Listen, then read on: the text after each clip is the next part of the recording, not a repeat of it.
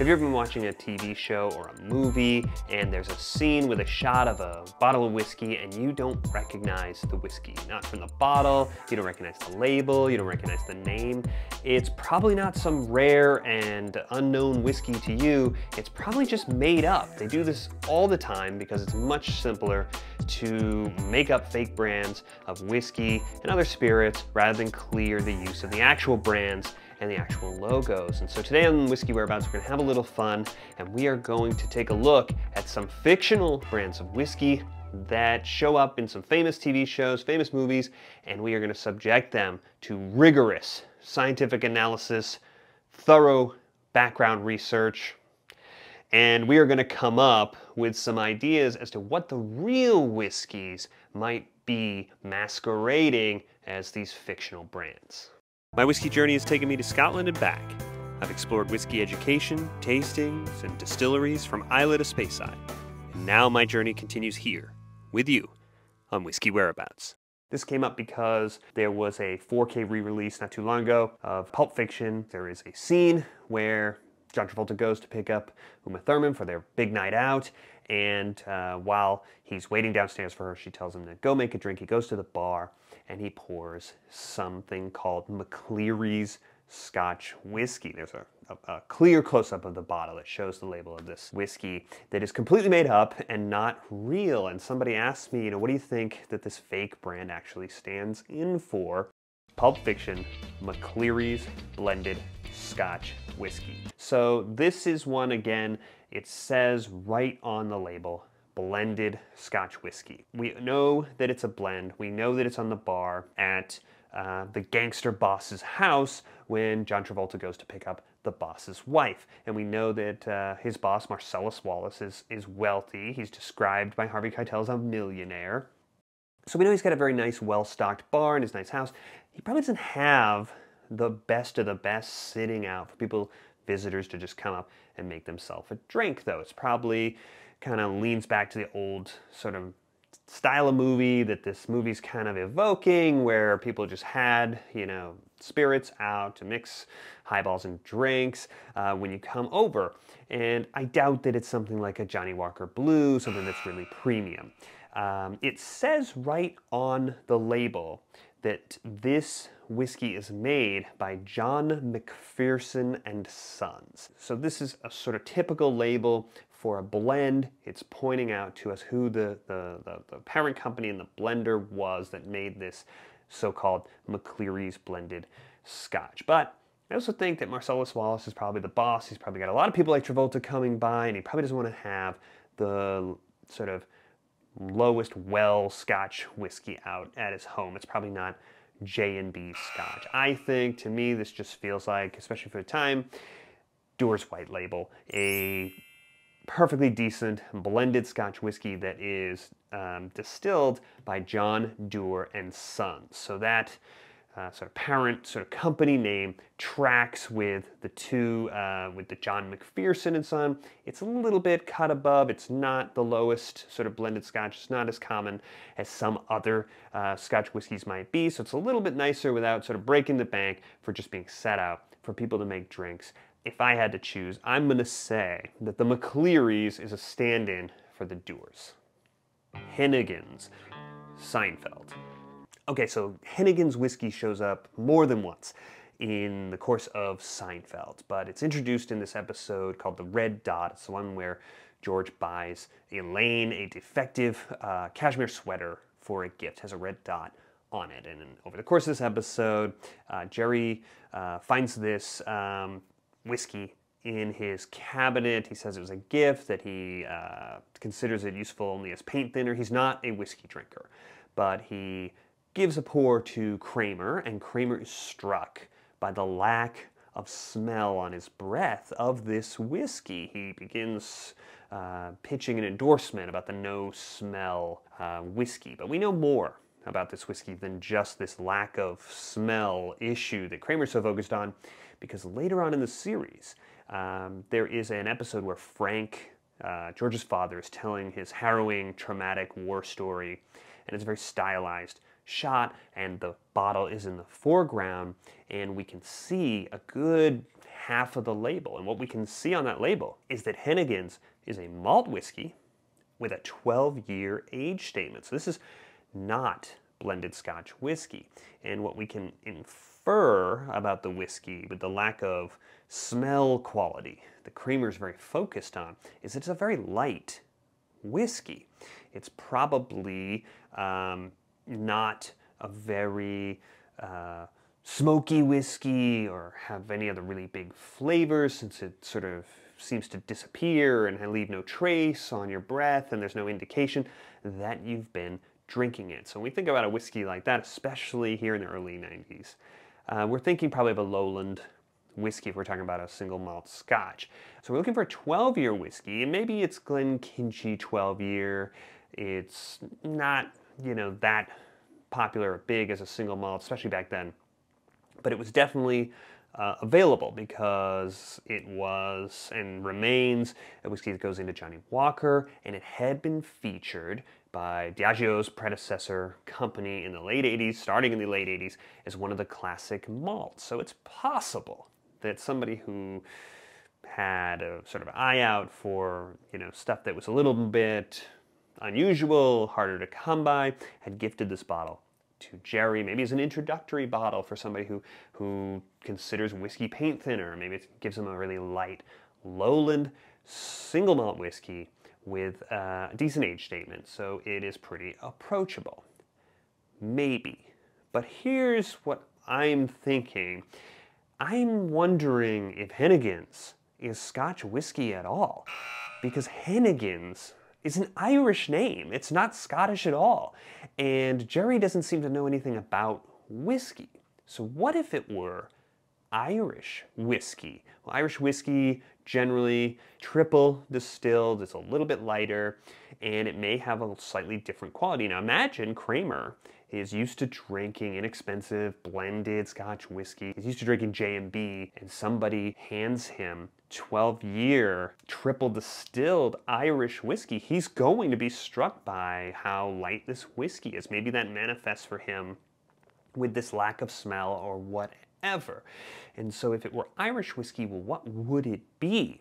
And I'm thinking it could very well be Redbreast. Redbreast has a 12 year and it fits the rest of our parameters. And Redbreast had been dormant. It hadn't been made for uh, several, several years, and Jameson's parent company resurrected Redbreast and reintroduced it to the market in December of 1991. And the Red Dot episode of Seinfeld aired on December 11, 1991. Case closed. Hennigan's is actually Irish whiskey. And I'm going with Redbreast. McCutcheon, Lost. Okay, so McCutcheon whiskey is one of those things that shows up from time to time in different flashbacks and in the lives of different characters on Lost, which is a thing this show Lost did. It was a show with all these mysterious sort of connections between all the characters revealed in flashbacks and things um, objects and songs and brands and all these things would just show up in the different characters' lives. So, the McCutcheon whiskey is one of those things that shows up more than once, but it's most heavily featured when it's introduced, uh, when the character Desmond goes and meets with his beloved Penny's wealthy, wealthy father in his office. And in the office, the wealthy man has a bottle of this McCutcheon Scotch whiskey with a 60 year age statement on it, and an incredibly high age statement whiskey to just have lying around to pour to one's guests at the office. But he's a very, very wealthy man, and he pours himself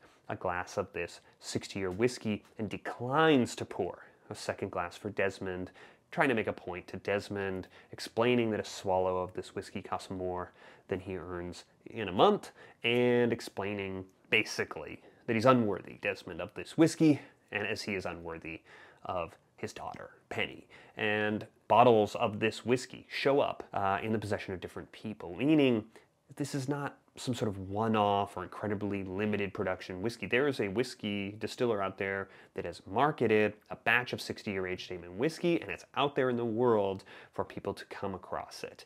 Um, McCutcheon Mac, M-A-C, Cutchin, says Speyside to me, maybe Highlands, Mac Allen, Macduff. Um, so I'm thinking that's where we're located with this distillery. The last thing about this whiskey is that it comes in a bottle with this very vibrant, bold red label. And when I see that sort of aggressive type of red in a Scotch whiskey presentation, I'm thinking they're probably trying to communicate to me a wine cask. It's probably sherry, maybe something else. Let's go with sherry because it's more common. And so I'm looking for a distillery with a long continuity where they would have uh, the ability to have a to bottle 60 year aged whiskey that is probably in Speyside and probably uses sherry casks. And that's how I'm getting to Glen Farkless. Glenfarclas is a long time family owned distillery with a lot of continuity. They have a lot of whiskeys with advanced age statements. They have commemorative bottlings from certain dates, and they have a 60 year whiskey. It costs $20,000, but they have it. And they also um, utilize sherry uh, casks in making their whiskey. So that is the closest analog that I can find. Uh, $20,000 for a bottle means a dram, 50 mil pour, is probably going to be about $1,400. So depending on Desmond's situation at the time, that pour is, you know, plausibly more than he's earning um, in that month. Could be a slight exaggeration as, as the old sort of wealthy man is trying to trying to point out um, his low position uh, to Desmond. Um, but otherwise, I think that this one is probably the best fit we're going to find. I'm going to say McCutcheon is actually Glen Farkless with the 60 year age statement. Glen McKenna, How I Met Your Mother. This is another whiskey that shows up more than once in the world of the show, and in particular, a 30 year age statement of the Glen McKenna. So what else do we know about this whiskey? Well, we're actually we actually have a lot to go on with this whiskey relative to some of these others because we get somebody actually trying to describe uh, what it tastes like. So somebody uh, in the show samples the whiskey and describes it as having a smoky quality with hints of cedar. The character who's giving these notes is probably trying to communicate to us that it has an exotic cask, it's not a traditional bourbon aged whiskey. There's something different, uh, at least his palate, about this whiskey. So we're looking for a whiskey that's in a different uh, cask. We are looking for a whiskey that's peated, and there's another sort of quality about this whiskey that has to do with its sweetness, because at one point a bottle of this precious whiskey is destroyed, and the gang has to sort of um, pass off a fake. And the way they do this is they mix up a concoction with a lesser bottle of spirits and they add various things. And a couple of things they add are chocolate syrup and ketchup, two very, very sweet things. So we're looking for a whiskey that has, you know, a lot of a sweetness. It's probably, again, sherry cask because we're getting the impression that it's from a different type of cask, maybe a little bit more exotic, but let's go with the sherry because it's a little bit more common. That's also peated. And the last thing that I would say about this whiskey is when I think of Glen, I think of Highland whiskey. I'm aware, you don't need to tell me in the comments, there are whiskeys that start with Glen outside of the Highlands. I'm aware uh, that there are whiskeys that fit this description in various places, including Campbeltown. You don't have to tell me that, but there's a huge, huge, huge volume uh, of whiskeys with this style of naming for the distilleries up in the Highlands. I'm going to put this whiskey in the Highlands. So I'm looking for a Highland smoky peated whiskey with some sherry casks with a 30 year age statement with some sweetness. And the whiskey that I'm going to identify is Highland Park. Highland Park's 30 year is um, available so that this whiskey can show up more than once. It's not one unique bottling. It does have sherry whiskey, sherry matured whiskey in the vatting. And if you read um, some of the tasting notes for the Highland Park 30, you will get a lot of uses and derivations of chocolate, which obviously is something that they keyed into when they were trying to fake this bottle. So I'm going to say that the Glen McKenna is Highland Park, Glengoolie, Archer. So this is another whiskey that shows up in the world of this TV show more than once. It's pretty common. It's like a running thing. And let's start with the name again. Let's start with the first half of the name.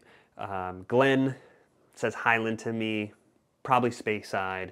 Second half of the name will we'll disregard. We won't get into that.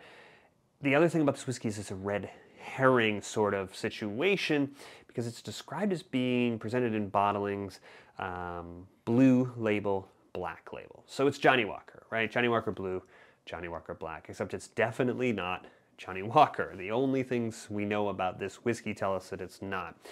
We know that the Glengoolie is a single malt. We know that it has some pretty decent age statements, 21 year, 24 year. At least the 24 year, I believe, is described as 43% ABV. So it's not Johnnie Walker. Johnnie Walker, even the blue label is bottled at 40%. It's blended whiskey. We can disregard the blue and the black labeling as helpful clues. So I'm looking for a whiskey that fits these sort of criteria. And there is sort of a likely whiskey that people point to, mostly because the label featured on the show closely resembles a, the style of a label, at least until a few years ago, of a very well-known whiskey. But before, before we just adopt that, let's see what other criteria we can we can fit. And what do we know about Archer? He's you know he likes nice things, but his his sort of sense of style, his taste is very old-fashioned. His favorite movie stars Burt Reynolds. He his style icon is Don Draper. He is sort of old-fashioned. He knows um, things that are well known and well established would probably appeal to him. So it's probably not a really trendy whiskey. It's probably not a new whiskey. And he or somebody at some point, I think, describes the whiskey as mid range. So we're thinking not something that's spectacularly overpriced, it's a little bit more accessible despite these high age statements. So the label in question corresponds to the label before they sort of change the more modernized uh, sort of shape of the bottles and the sort of cut glass with the logo of the Glenfiddich. And that seems to fit, right? The uh, We're in Speyside. Uh, Glenfiddich has a 21 year. I have a bottle of it right here. They have a 25 year, um, not a 24 year. They have a sort of long history, well known, huge brand, and that seems to fit what we're talking about. And if we're gonna say that Glenfiddich 25 stands in for this blue label, it's also 43%, so it overlaps. I don't have any uh, reason to shoot down the sort of, I think, popular understanding that the Glen Glengoolie is a stand-in for the Glenfiddich. So those are my absolutely correct, definitive answers for what the real world analogs for several fake brands of Scotch whiskey and Irish whiskey in movies and TV are. And if you disagree with any of my sort of deductions and conclusions, let us know in the comments what your alternate nomination would be, but show your work and tell us why.